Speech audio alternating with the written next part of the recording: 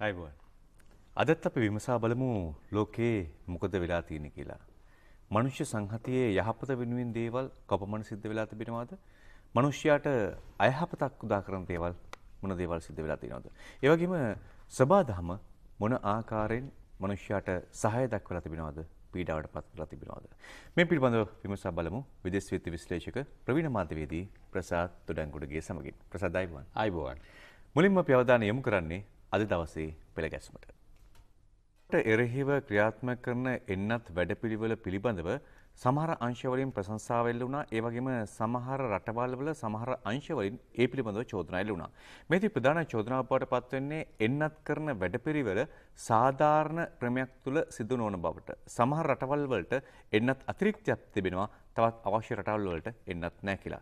මේ පිළිබඳව විශේෂ අවධානයක් යොමු කරන්නට ඇමරිකානු ජනාධිපති ජෝ බයිඩන් පියවර ගෙන තිබෙනවා. ඔවුන් ලෝකයේ පුරා එන්නත් ව්‍යාප්තිය විධිමත් කිරීම සඳහා අවශ්‍ය පියවර මේ වන විට ලබාගෙන තිබෙනවා. ඕ ඇතරම එක පැත්තකින් ප්‍රශංසනීය කටයුත්තක් විදිහට සලකන්න පුළුවන් මොකද ඇමරිකාව මේ ක්‍රියාදාමයේ මුල් තැන ගැනීම කිසියම් රටක් මේකට මුල් තැන ගත යුතු වෙනවා. මොකද දැන් මේ වෙනකොට ලෝකේ ලෝක සෞඛ්‍ය සංවිධානය සඳහන් කරන ආකාරයට දිනුඳු රටවලින් සියයට තුනකටවත් නිසි පරිදි එන්නත් ලැබිලා නැහැ. අන්ත දිනුඳු රටවල්. දැයි වගේම අනිකුත් රටවල් අපි වගේ මධ්‍යාදායම්ලාභී රටවල් පවා අර්බුදයක ඉන්නවා නිසි පරිදි එන්නත් ලබා ගැනීම සඳහා විශේෂයෙන්ම ඔය අර්බුදය නිර්මාණය වෙන්නේ ඔය මුලින්ම ලෝපුරා වැඩිපුර ප්‍රචලිත වෙච්ච ඇස්ට්‍රසෙනිකා එන්නත නිසි පරිදි නිෂ්පාදනය නොවීම සහ ඒ නිෂ්පාදනය සම්බන්ධයෙන් ගැටලු ඇතිවීම නිසා ඇති සැපයුම ඇතිවෙච්ච ගැටලු සහගත තත්ත්වයන් එක්ක.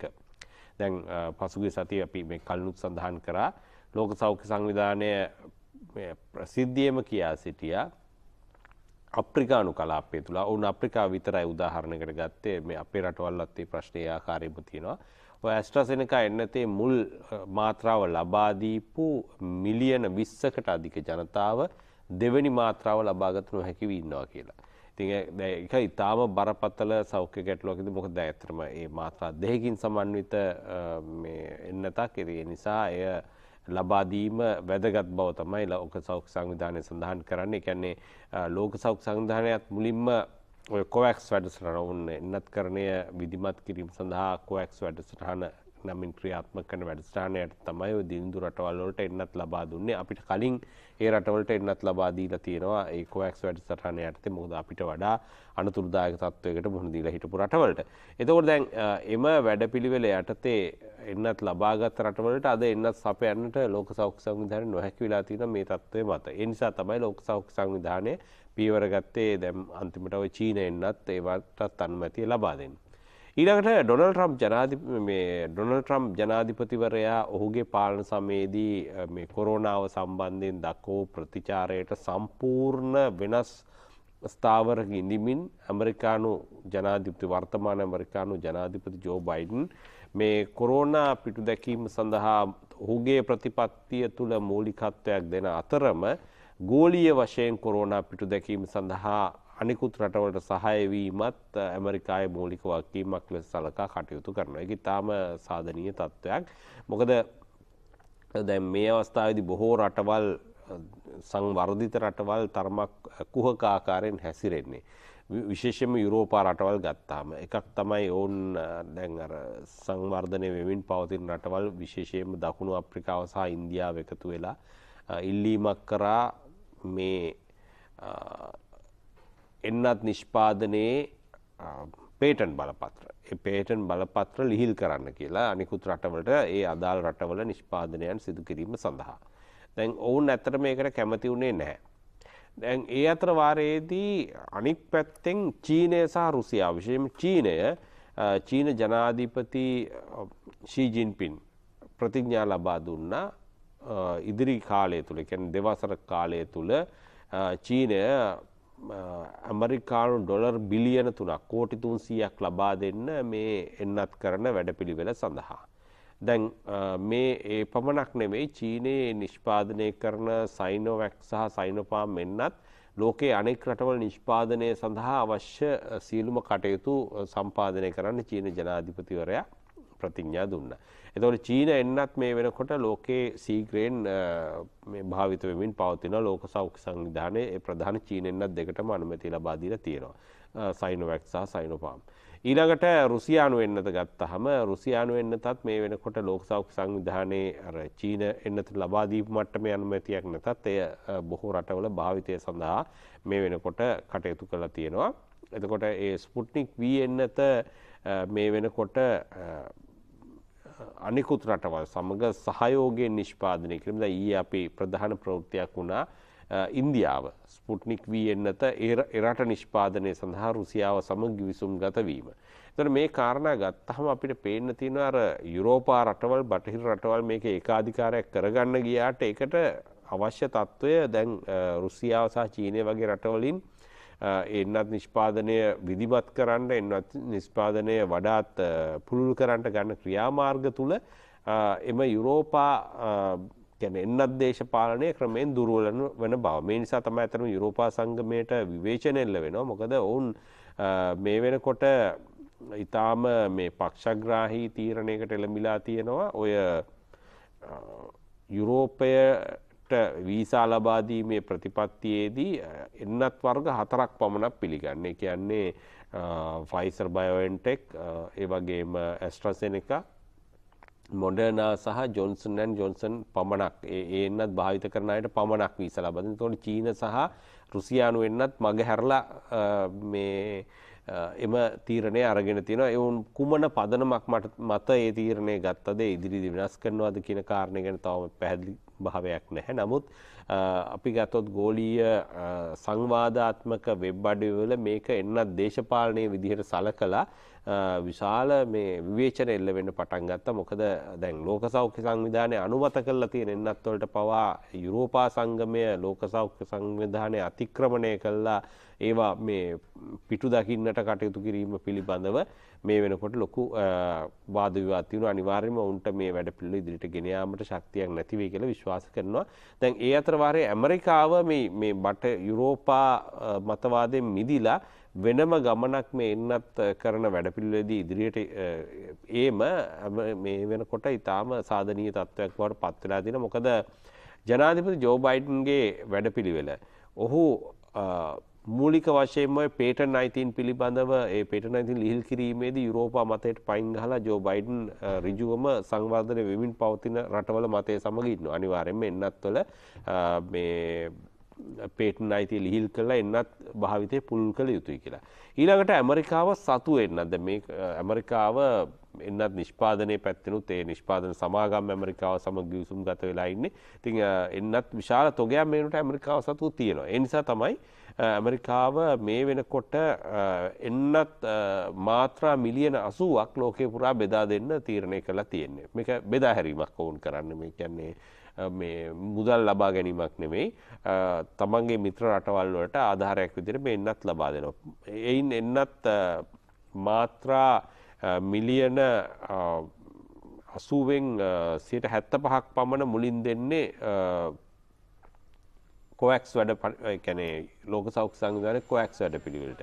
ඉන් පස්සේ වෙනම මාත්‍රා විසි පහක් හදිසි අවශ්‍යතා සල කලා මේ මුලින්ම දකුණු ආසියානු රටවලට ඒ වගේම ලතින් ඇමරිකානු රටවලට ඒ වගේම ඇමරිකාව සමඟ විශේෂ සබන්තා පාත්‍රනව දකුණු කොරියාව වගේ මෙක්සිකෝ වගේ රටවලට ඊළඟට එම එන්නත් ලබාදීමට පියවරගෙන තියෙනවා. වඩාත් සුබදායි පුවත තමයි ශ්‍රී ලංකාවත් මේ ඇමරිකානු ලයිස්තුව ඉන්නත ආසියාවට එන්නත් මේ එන්නත් මාත්‍රා ගත්තහම මිලියන හතක් ලබා දෙන්න තීරණය කරලා තියෙනවා. ඒ කියන්නේ මාත්‍රා 70 හැත්ත ලක්ෂයක් හදිසි වැඩපිළිවෙල යටතේ එතකොට ඒ යටතේ ශ්‍රී ලංකාවටත් සැලකියයුතු ප්‍රමාණයක් ලැබීමට ඉඩකඩ තිබෙනවා මොකද ශ්‍රී ලංකාවෙත් ඔය ඇස්ට්‍රසෙනක එන්නත් සම්බන්ධයෙන් ගැටලුවක් පවතින් නිසා පළම් මාත්‍රාව ලබාගත්ත පිරිසකට එය ලබාදීම තැම් රජයේ මුඛ්‍ය අරමුණක් වෙලා තියෙනවා. තුර ඇමරිකාව සතුව මේට ඇස්ට්‍රසනක එන්නත් ඔගේ ඇතිබෙන බව වාර්තා වෙන නිසා බෝදුරට ඔවුන්නේ එන්නත් බෙදා හැරීමට අව තැම් ජෝබයිඩන්ගේ වැඩපිල්ල ඉතාම් විදිමත් ඒ පැහැදිලිව දවල බන්දුරේ විස්තර කරා. මේන්නත් ලබාදීමේදී රටවලට අදාළ මොන එන්නද ඔවුන්ට අවශ්‍යතාව තියන මොනන්න ඇමරිකාව සතුව තියන මොනන්නද ඒ ප්‍රමාණයෙන් කොහොමද ලබා දෙන්නේ දැම් ෆයිස එන්නත වගේ ඇතැම් රටවට ලබාදීමට නොහැකි මොකද යටිතල පහසුකම් නැහැ ඒ දිලිඳු රටවල් සතුව ඒ ෆයිස එන්නත තබාගෙනම කියෙන කෝල් චේන් එක පවත්තාගෙන සෙල්සිය සඳක රින්න දහටක උෂ්ණත්වය පවත්තා ගැනීම. ඉති ඒ වගේ ගැටලු තියෙනවා. ඉති නමුත් ඇමරිකාව ඊට අමතරව ජෝබයින් ජනාධිපතිවරයා තීරණය කල්ලා තිබෙනවා අපිට වාර්තාාවෙන ආකාරයට මේ එන්නත් ලබාදීමට අමතරව කොවක්ස් වැඩස්ටහන්ට කියන්නේ ලෝක සෞඛ සංවිධාන එන්නත් කරන වැඩපිළිවෙලට අධියර දෙකක් යටතේ ඩොලර් කෝටි හාරසීයක් ලබා දෙන්න. ඇති මේකත් ඉතාම සාධනීය වැඩපිල්ල මේ අවස්ථායිත් මොකද ඇතරම ලෝකයේ එන්නත් කරණය පුළුල් කිරීම තුළින් තමයි මේ කොරෝනා පාලනය සඳහා පැති දෙකක් තියෙනවා මූලික වශයෙන් එන්නත් කරණය පුළුල් කිරීමත්. ඒ වගේම ඒ හා සමානවම සෞඛ්‍ය පුරුදු ආරක්ෂා කිරීමත්. මොකද අපි දන්නවා සෞඛ්‍ය පුරුදු ආරක්ෂා නොකිරීම තුළ එන්නත් කරණය කොතරම් පුළුල් කරත් වැඩක් වෙන්න හැ අර නැවත නැවත පොකුරු හට ගැනීම සහ මොකද දැම්මි කොරුණ එන්න තැමේකම යම් කිසි ශක්්‍යතාවය පිළිබඳ යම් අඩු තත්ත්වයක් තියෙන දැව හොඳම එන්නත් පවා සීට අනුවක් තමයි ශක්්‍යතාව පෙන්න්න ගෙන එන්නත් ලබාගන්නා සීට දහයක්කට රෝගය වැරඳීමේ අවධානම තියෙනවා කැන හොඳ මෙන්නත් ඇතැම් මේ සියට හැත්තෑවයි වගේ මේ ශක්‍යතා අපි මිට කලින් කතා කරලා තියෙනවා. ඉති ඒ නිසා මේ වෛද්‍යවරු පෙන්වා දෙන්න එන්නත් ලබා ගැනීමේ දී තියෙන වැදගත්කම තමයි එකක්. අර ඇතිවන සංකූලතා. රෝගය වැළඳෙන්නේම නැහැ කියලා තහවුරු කරන්න බෑ. වැළඳීම් ප්‍රතිශතයක් තියෙනවා. අවම වශයෙන් සියයට දහයක වත් ප්‍රතිශතයක් තියෙනවා. හැබැයි මේ තුළ සිද්ධ වෙන දේ තමයි අර රෝගය වැළඳුනොත් එවැනි කෙනෙකුට අසාධ්‍යවීම අඩු ගැන සංකුලතා අඩුවෙන්න්නට පුළුවන්. එනිසා තමයි මේක වැදගත්. ඒවගේම අර බෝවීමේ වේගේ අඩුවෙන්න්නට පුළුවද මේ මේක වෛද්‍යවරු පෙන්වා දීලා තියෙනවා. ගෝලිය වශනුත් ශ්‍රී ලංකාවිත වෛද්‍යවරු මේ ගැන නිරන්තරෙන් පැහැදිලි කරනවා. එනිසා එන්නත් කරන ඉතාම් වැදගත්වෙනවා ඒ වගේ මේ හා සම්මානෝම සෞඛ්‍ය පුරුදු ආරක්ෂා කිරීම ඉතා වැදගත්වෙන මොකද එය කැන මේ රෝගය ව්‍යාප්ත වෙන ක්‍රමවේදය අතර කරේ නැත්තං ඔය ඉන්දියා වගේ රටවලට අත්වෙච්ච ඉරණම ඉතාම් පැහැදිලිවම අපිට කියන්න පුළුවන් අනිකුතු රටවලට අපි වගේ රටවලට තත්වවෙන්න පුළුවන් එතෙන්ට තල්ලු වෙන්න පුළුවන්. මොකද මේ තත්ත්වයෙන් මිදුණු රටවල් පමණයි එකන්නේ නිසි පරිදි සෞඛ්‍ය ආරක්ෂණ ක්‍රමවේද වෙත යොමු වෙච්ච ජනතාව පමණයි මේ වෙනකොට ලෝකයේ ආරක්ෂා වෙලා ඉන්නේ. නොසැලකිලිමත් ලෙස හැසුරුණු ඒ රටවල ජනතාවට කොරෝනාව ඉතාම දරුණු ලෙස දනුවන් දීලා තියෙනවා නොසැලකිලිමත්කම අනිවාර්යෙන්ම ඊට දැඩි දනුවම් මේ වෙනකොට ලබා දීලා තිබෙනවා. අපි තවදුරටත් කතා කරන්නට සූදානම් තමත් ඉක්මනින් වෙලාව බලලා ඇවිල්ලා.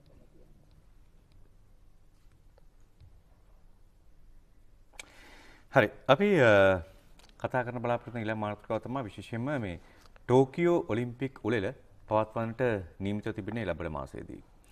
සෝවියත් දේශීය බිඳ වැටෙන්නට පෙර ඔලිම්පික් උළෙලවලදී වැඩි දක්ෂතාවයන් දැක්වේ වැඩි පදක්කම් ලබා ගත්තේ සෝවියත් දේශීය. නමුත් සෝවියත් දේශීය බිඳ වැටුණායින් පසුව මේ ජයග්‍රහණ ලබා ගන්නට සමත් වුණේ ඇමරිකා එක්සත් ජනපදයේ. ඉන්පසු පැවති ඔලිම්පික් උළෙල බොහොමයකදීම ජයග්‍රාහකයා බවට පත් වෙන්නේ වැඩිම පදක්කම් ලාභියා බවට පත් වන්නේ ඇමරිකා එක්සත් ජනපදය. රුසියානු ජනාධිපති ව්ලාඩිමිර් පුටින් චෝදනා කරනවා ඇමරිකාව නිරන්තරයෙන්ම රුසියාව පසුගාමී කිරීම සඳහා කටයුතු කරනවායි කියලා. ඕද මේ චෝදනා එල්ලවෙන් දැන් එක් පැත්තකින් ඇමරිකාවෙන් රුසියාට චෝදනයලද රුසියාවෙන් ඇමරිකාවට චෝදනයල වෙනවයි වගේ අනතුරු ඇඟවීම් කරනවා තමන් වවතැක් සේරු කරන්න එපා කියලා. ඇති මේ මේ ක්‍රියාවලිය අපි දකින්නේ මේ වෙනකොට දැන් ඇමරිකානු සහ රුසියානු නායකයන් දෙදෙන සූදානම් වෙනවා සමුළුවකට. මේ මාසේ එක බොහෝදුට ජූනී දාසේවිඳ තමයි මේ සමුළුව පැවැත්වීමට දින නියම කරලා තිබෙන්නේ. මේ දක්වා තියෙන මතබේ තාමුග්‍රයි නිසා ඇතැම්බිට මේ සමුළුව තියෙන්න්නරත් පුළුවන්න තිවිටත් පුළුවන් නමුත් බෝදුරට මේ පැත්වෙයි. ද මේ සමුළුවට පෙරාතුව තමයි මේ එක ප්‍රකාශ සිදු කරමින් පවතින්නේ දැම්මකද ඉතා බරපතල මතබේද රැසක් මේ දෙපාර්ශවය අතර මතු වෙලා තිබෙනවා. බ්ලදිමීර් පුටින් රුසියානු ජනාධිපතිවරයා ඊයේ රූපහනි සම්මුඛ සාකච්ඡාට එක්වෙමින් ඇමරිකාව පිළිබඳව ස්ථාවරය පැහැදිලි කරා. ඔහු සඳහන් කරන මූලික් කාරණයක් තමයි රුසියාවට අවශ්‍යයි ඇමරිකාව සමඟ සබත්තා වර්ධනය කරගන්න. හැබැයි දැන් ඇමරිකාව යම්මාකාරයකින් රුසියාව පස්සට තල්ලු කිරීමේ වැඩ පිළිවෙල එකන ඔහුගේ වචනවලින් එක පරිවර්තනයක් දෙන හෝල් බැක් කරනවා. ඒ පස්සට තල්ලු කිරීමේ ක්‍රියාදාමෙන් ඇමරිකාව වැලකිය යුතුයි කියන කාරණය සඳහන් කරනවා. ඒ වගේම ඔහු පෙන්වා දෙනවා මේ ඇමරිකාව සහ රුසියාව අතර දැනට අංශ ගණනාවකින් මතබේද තියෙනවා. මේ මතබේද එක් පැත්තකින් ඔය ප්‍රජාතන්ත්‍රවාදී ප්‍රශ්න ඔය ඇලෙක්සි නවාල්නී විපක්ෂ ක්‍රියාකාරී අත්තරංගුවට ගැනීම වගේ සිදුවීම්.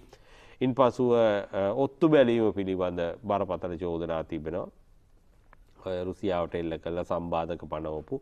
ඒ වගේම මැතිවරණ කඩාකප්පල් කිරීම පරිගණක පද්ධති හැක්කිරීම මේ වගේ චෝදනා ගණනාවක් එල්ල කළ තියෙනවා ඇමරිකාව රුසියාවට.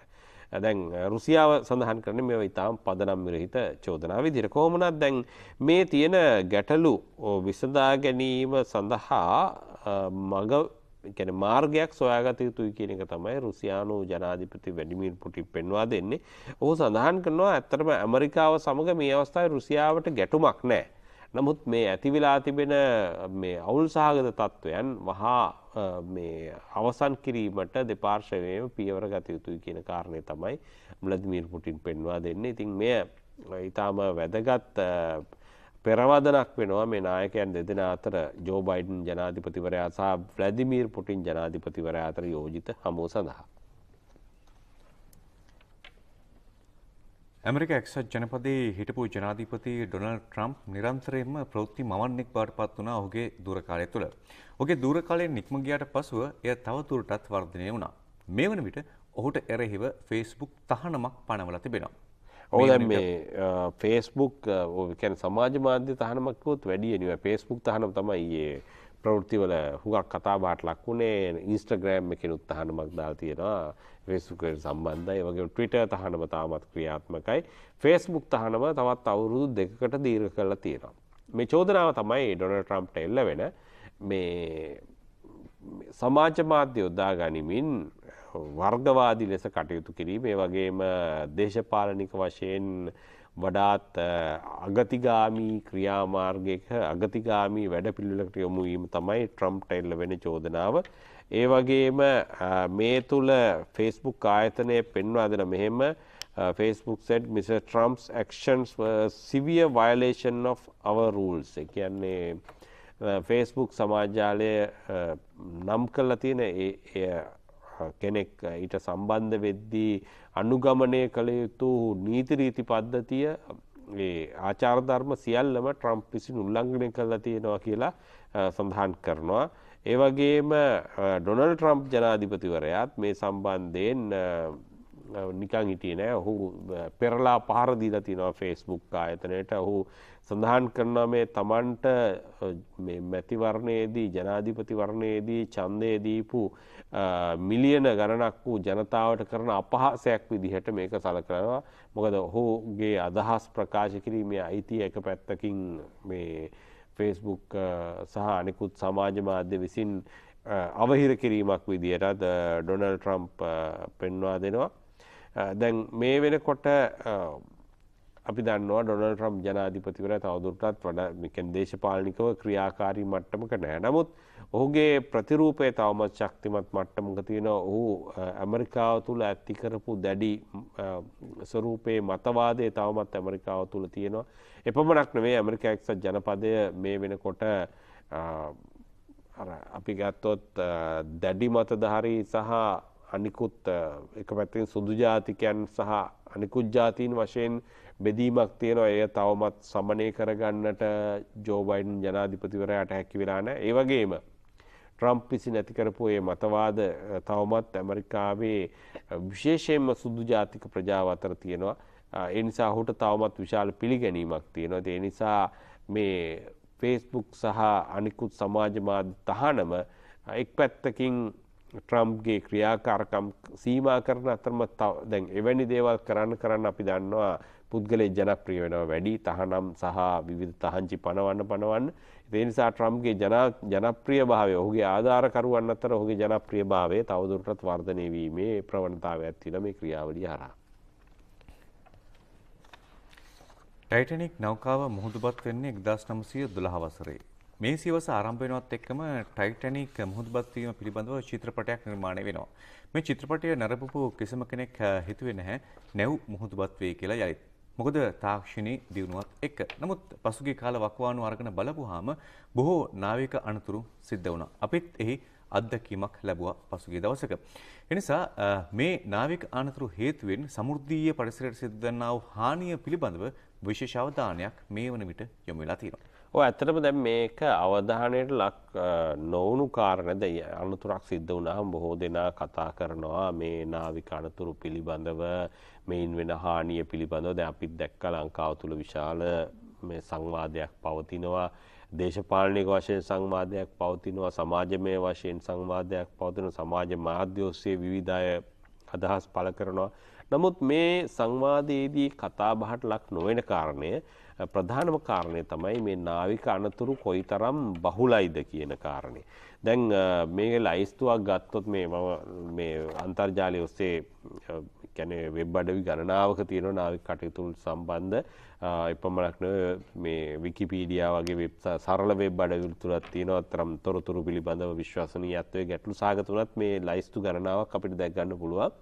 ඒ නිසා එයින් අපිට පැහැදිලිව මේ නාවික අනතුරු අපි මේ නොදැක්කට අපිට අවබෝධ නොවුනට මොනතරම් බහුලයිද කියලා ලෝකේ. මොකද මේවා අන්තිමට පත් වෙලා තියෙන මාර්ග අනතුරු ගන්න තත්වයට. දැන් උදාහරණයක් විදිහට ගත්තොත් මේ මගේ අතේ තියෙන මේ ලයිස්තුවේ මේ අවුරුද්දේ මේ වෙනකන් ජනවාරි මාසයේ ගත්තාම ජනවාරි 2 වෙනිදා 12 වෙනිදා අනතුරු දෙකක් වෙලා තියෙනවා ජනවාරි 13 වෙනිදා අනතුරු දෙකක් වෙලා තියෙනවා ඒ වගේම ජනවාරි 17 වෙනිදා අනතුරු දෙකයි 18 අනතුරයි 19 අනතුරයි මේ ජනවාරි මාසෙ විතරක්. හරි. එතකොට ජනවාරි 23 වෙනිදා අනතුරක් වෙලා තියෙනවා.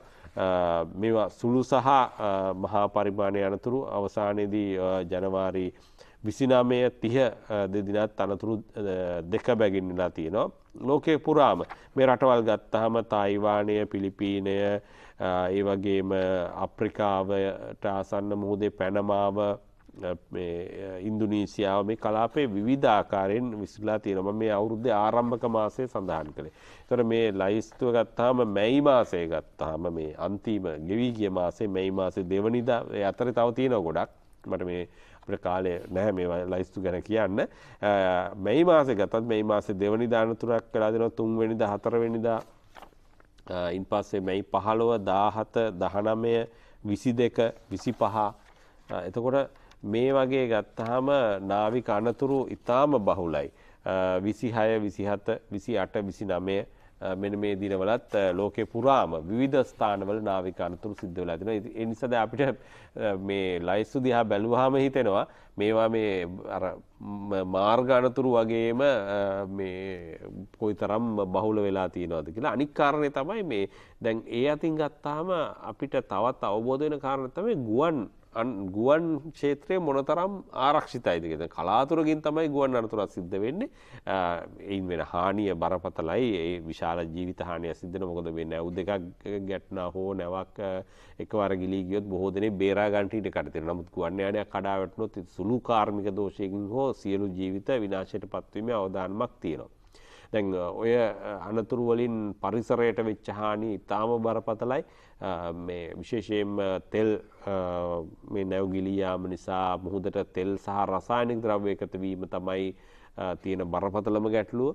හැබැයි තව දෙයක් තියෙනවා. මේ කාලාන්තරයක් යද්දී මේ ශිප්රෙක්ස් එහෙමත් නැත්නම් මේ නැව් සැකිලි මුහුදු පතුලේ තියෙන නැව් සැකිලි මේවා විෂගතිය අඩු වෙලා ගියාට පස්සේ මේවා ඊටාම හිතකර වෙනවා සමුද්‍ර පරිසරයට කියන්නේ කෘතිම මේ රීෆ්ස් එහෙමත් නැත්නම් කෘතිම පර බවට පත් වෙනවා. මේවා මසුන් බෝවීම සඳහා වැදගත් වෙනවා. ඒ වගේම සමුද්‍රීය ජෛව පද්ධති සඳහා මේවා ඉතා වැදගත් වෙනවා. මේ සාමාන්‍ය තෙල් සහ අනිකුත් හානිකර ද්‍රව්‍යයන්ගෙන් තොර වුණාම මේ මෑත කාලේ පසුගිය වසරේදී අපි දැක්ක ප්‍රධානම අනතුරක් මේ මුරසිදූපත් ආසන්නේ සීශෙල් සාසන්නයේදී වෙච්ච අනතුර මේ ඉතාම බරපතල විදිහට මේ තෙල් ගලා ගියා මහා මුහුදට. මේ මේ මේ වගේ සිද්ධීන් ගණනාවක් ලෝකෙ තියෙනවා. එපමණක් නිදර්ශන මේ සටහන අවසන් කරන්න කැමතිමම එක දෙයක් කියලා. මේ ඒ අපි ගත්තොත් දෙදස් දහය මේ දෙදස් දෙකේ ඉඳලා දෙදස් පහලෝ විතර වෙනකං ගත්තහම සංඛ්‍යාලයකට පෙන්වා දෙනවා. ලෝකයේ නෞකා දොළහක් පමණ කිසිදු කිසිදු හෝඩුවාවක් නැතුව මේ වෙනට අතුරු දහන් වෙලා තියෙනවා කියලා එකැන මේ මේ දෙදහ අවුරුද්දෙන් පස්සේ ආරම්භ වෙච්ච කාලවක් වානු තුළ නැව් දොල්හක පමණ කිසිදු වාර්තාවක් නෑ ඒවා කොහේ ගියාද මොනවා වුණාද කියලා අභිරහස් ලෙස අතුරු දහන්වීම් වාර්තා වෙන සිද්ධීන් දොළහා. පාවෙන පිරිස්වල නැගලා අඟුටු මිට්ටන් එනවා කියලා අපි පුංචි කාලේ කිව්වා. මෙය සමහර විශ්වාස කළා සමහර විශ්වාස කරේ නැහැ. කොහොමවත් නාසා ආයතනය හඳුනා නොගත් පියාඹන වස්තුන් පිළිබඳව අධ්‍යයනය කටයුතු පුළුල් කරලා තියෙනවා. ඔව් දැන් මේ නාසා ආයතනය මේ සම්බන්ධයෙන් අවස්ථා ගණනාවකදී පරීක්ෂණ සිදු කරා. ඇතැම් අවස්ථාවල මේ මේවා ඇමරිකාවේ රහස් පරීක්ෂණ කියන්නේ FBI ආයතනය විසින් පරීක්ෂණ ගණනාවක් සිදු කරා X files කියන මේ කතාමාලාව ඔයවැනි ගැන අත්භූත පියාමන වස්තුූන් සානිකුත් අත්භූත සිද්ධීන් පදනම් කර ගනිමින් තමයි නිර්මාණය කෙරුණේ. එතකොට දැන් මේ සම්බන්ධයෙන් කාලෙන් කාලෙට මේ තොරතුරු විවිධ තොරතුරු අලුත් වෙනවා. ඒ වගේම සිද්ධීන් වාර්තා වෙනවා. පසුගි කාලේ දැන් මීට අවුරුදු දෙකක් කාලය විතර වඩාත් සංවාදයට ලක්වුණා ඇමරිකාවේ ආරක්ෂක දෙපාර්තමේන්තු පෙන්ටගනය තොරතුරු රැසක් හෙළි කරා මේ ඇමරිකානු ගුවන් නියමුවන් ප්‍රහාරක ගුවන් නියමුවන් අද්දුටු කැන ඔවුන්ගේ ගමන්වලදී පටිගත කරපු අත්භූත ජනක වස්තුූන් පිළිබඳ ඒවක් ගැන ඒව කුමක්ද කියලා හඳුනා ගැනීමක් කරන්න බැරිවිලා තියෙනවා. ඒ නිසා නාසා ආයතනයේ නව අධ්‍යක්ෂවරයා බිල් නෙල්සන් තීරණය කරලා තිබෙනවා මේ පරීක්ෂණ පුළුල් කරන්න මේ හඳුනා නොගත් පියාමන වස්තුන් පිළිබඳව අපි දිරිදිනයකදී මේ ගැන වැඩිපුර කතා කරන්න බලාපොරොත්තු වෙනවා දැනට කාල වේලාව අපිට හරස් වෙන හින්දා ඉතින් බලාපොරොත්තු වෙන අපි මේ හඳුනා නොගත් පියාමන වස්තුන් පිළිබඳ තොරතුරු තවදුරටත් අරගෙන ඇවිල්ලා මේ නාසා ආයතනයේ වැඩ පිළිවෙල පැහැදිලි කරන්න බලාපොරොත්තු වෙනවා කාලය වඩාත් අරගෙන අපි ඉදිරි දවසකදී ඒ පිළිබඳව යළිත් කතා කරන්නට බලාපොරොත්තු වෙනවා. ස්තුතියි ප්‍රසාද්. එසේනම් අපි අදට සමුගන්නවා ලබන සඳත් අපි ඔබව හම්වෙන්නම්. අයිබෝන්